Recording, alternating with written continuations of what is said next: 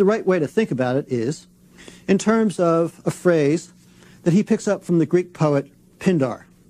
We've mentioned it before. It's a very simple phrase. It says, Become who you are. Well, that's a fascinating notion.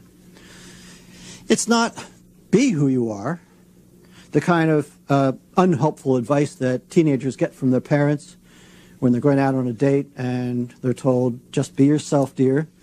Um, they get a, right, a rightful look of, what? on the other hand, there's a sense in which to say, be who you are, implies a kind of stasis, something that doesn't change.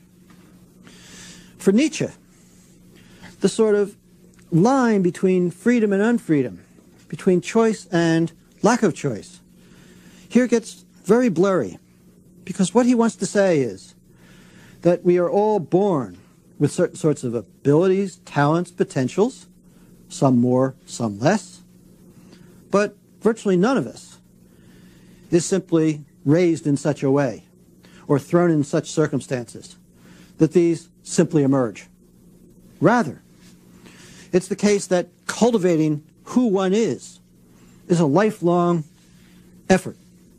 That when he says in The Birth of Science, sorry, when he says in The Birth of Tragedy, life is to be justified only as an aesthetic phenomenon.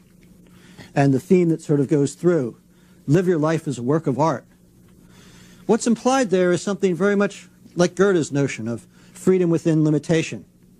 That the creativity of the individual is to a large extent creating oneself, but not on a blank canvas with a set of oil paints and the instructions, anything goes. Certainly a very popular American belief, something that one can read rather easily in the philosophy of Sartre, but quite to the contrary. It's a very limited canvas, and it's a very limited palette. And what one can paint is as restricted as, for example, one of those Japanese paintings where you only get one line. That line being your life.